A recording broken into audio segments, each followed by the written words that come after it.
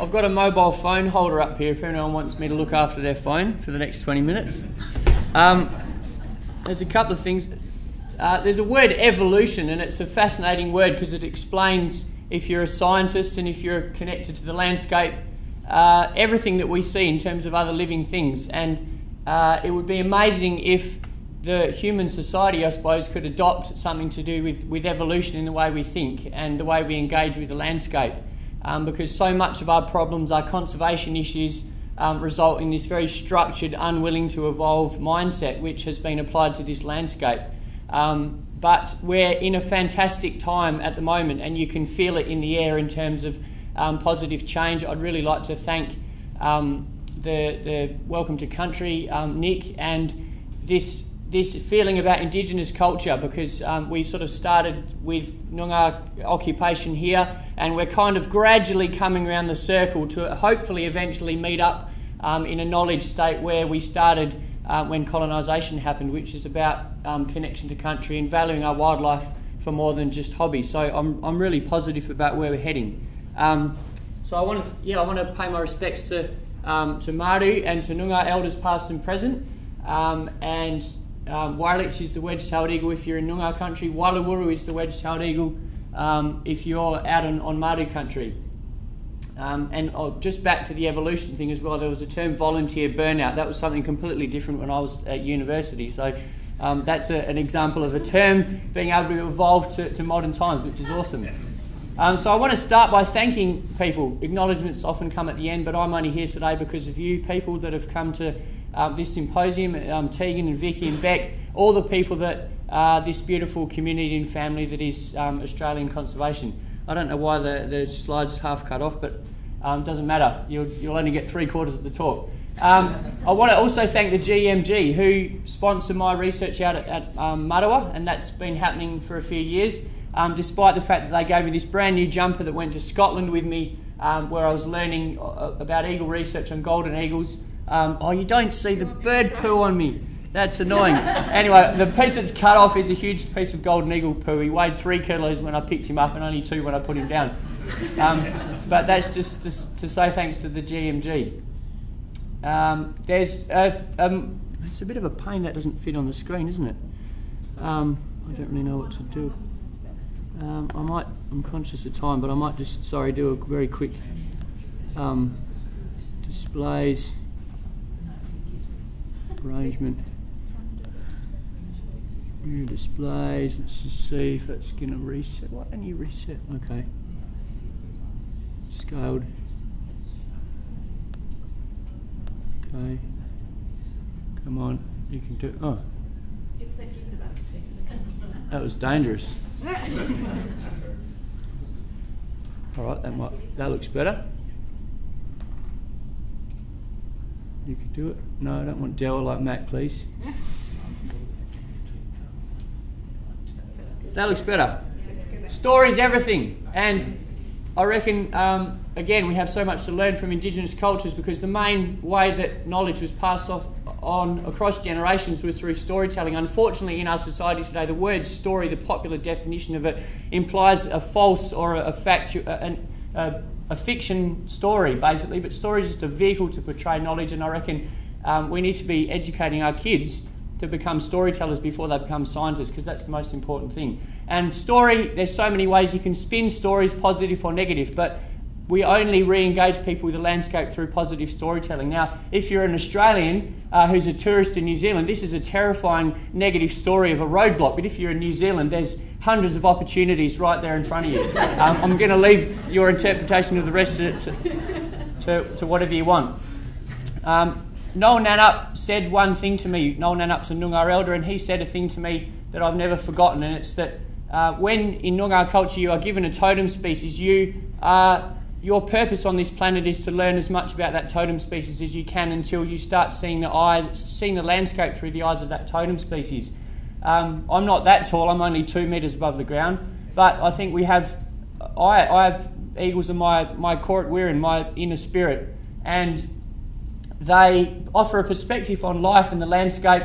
Um, which I'm constantly thinking back to the sky. So, both spatially, if we go up in the air and get a bird's eye perspective from a wedge tailed eagle's uh, place in the sky. Um, it's really valuable. Um, and as scientists, we're constantly having to change our temporal perspective by going back in through the literature, back into history, to use information to inform where we are now. So that's just something to think about as well. And on that, um, I feel like it's important to tell the wedge-tailed eagle story through the perspective of, of land use. So 200 years ago or more, Southwest WA was a vast, amazing economy. Um, just it was full of, of different jobs, heaps of different roles in the landscape, um, and incredibly bustling and diverse. And in a very short range of time, there was a mass uh, load of redundancies that happened. Heaps of jobs were, were disappeared um, because of a change in mindset. And a few of those jobs boomed and benefited really, really well from the change in landscape, but most of them didn't. So these are the animals, mammals, if you're an eagle that eats mammals, um, they ones that are found in the Mundaring, were found in the Mundaring Shire where I live some jobs were introduced that no one had ever heard of before, and they started booming and, and doing really well in a modified landscape as well, and certainly so were others. From an eagle's perspective, your diet became very, very simplified, and this led to one of the most well, uh, well-known persecution cases. So wedge-tailed eagles were one of the most persecuted raptors in the world. Hundreds of thousands of bounties were paid by all state governments for 100 years. And lots of kids don't know this story, so it's very important that they are aware of an attitude to a native component of an ecosystem, which um, was just we need to wipe this thing out. Um, unfortunately, old habits die hard, and some people still cling on to these attitude changes. So, this was a case you've probably heard of um, that came out just a couple of months ago from Victoria. Um, about 400 birds in a, in a, mass grave over a couple of years um, of wedge-tailed eagles being poisoned um, which, is, which is terrible. But hopefully, we're gradually going to educate our, our, younger people.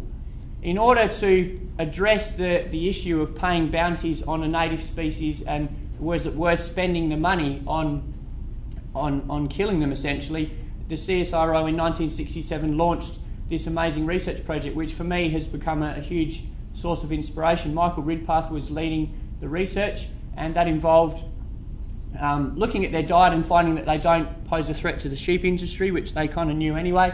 Um, and the key thing that stood out for me from one of the four publications that came out of this 10 year study uh, was that eagle populations could suffer serious consequences if major habitat changes uh, occur and the, the, the, consequences wouldn't be immediately obvious for a long-lived bird. So vigilance and monitoring are necessary. And monitoring just stood out to me. That's just environmental engagement, ongoing uh, checking the, the, barometer of our ecosystems that we need. And that hasn't happened for this species since the research really finished.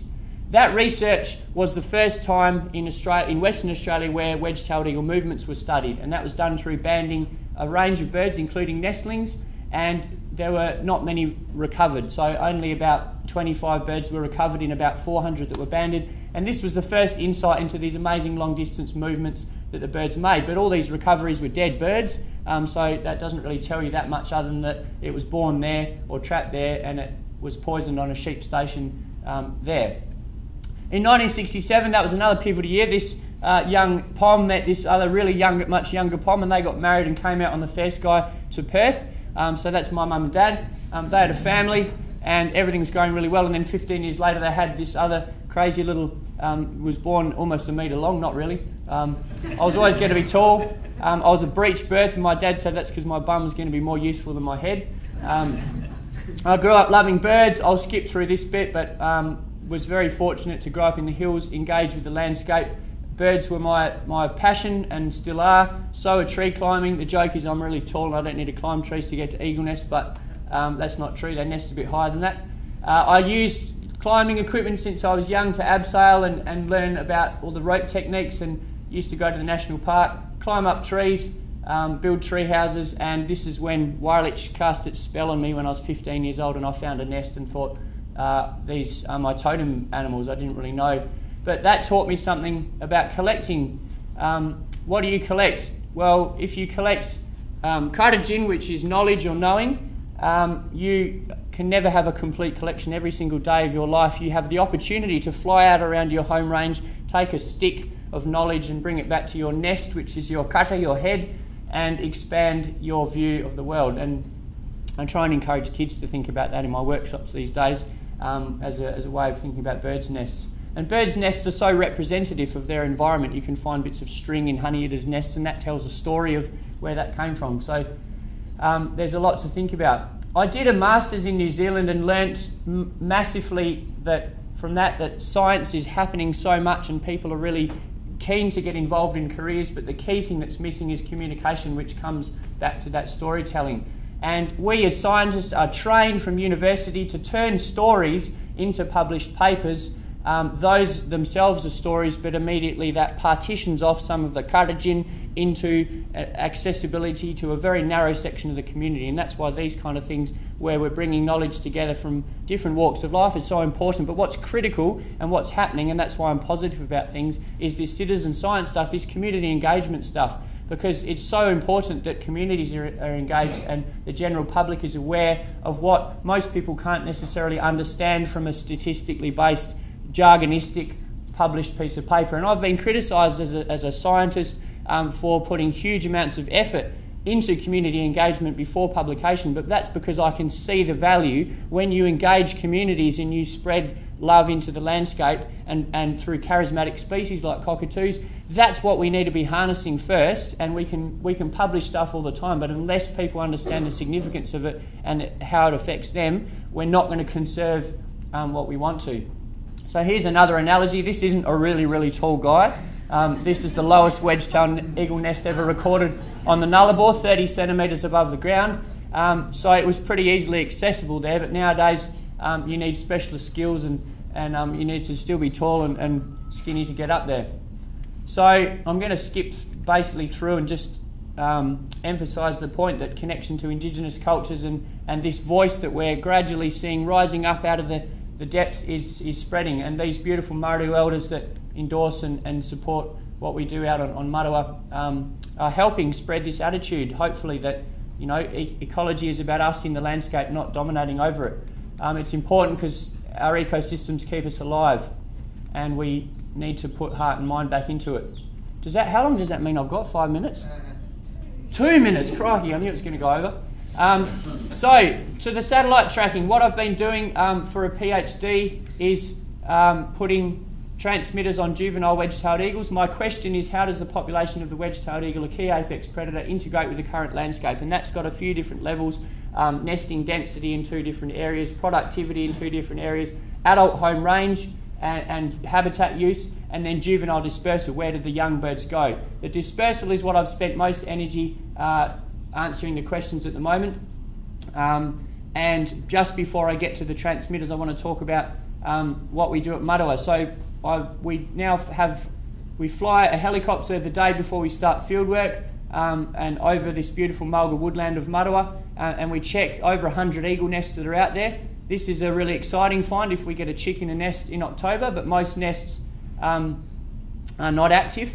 And Martu um, community comes out um, onto Matuwa for a few days, and I'm really keen to spend a long time with, with some of these teenage kids this year. Um, the first thing I do is put the eagle's perspective in everyone's mind and draw a map in the sand of the, the country that we're working on and draw lots of circles which represent um, the eagle's uh, home ranges. So this is the, the Matuwa boundary. It's about 2,500 square kilometres. This is a fenced enclosure that Parks and Wildlife established uh, to reintroduce threatened species of mammals.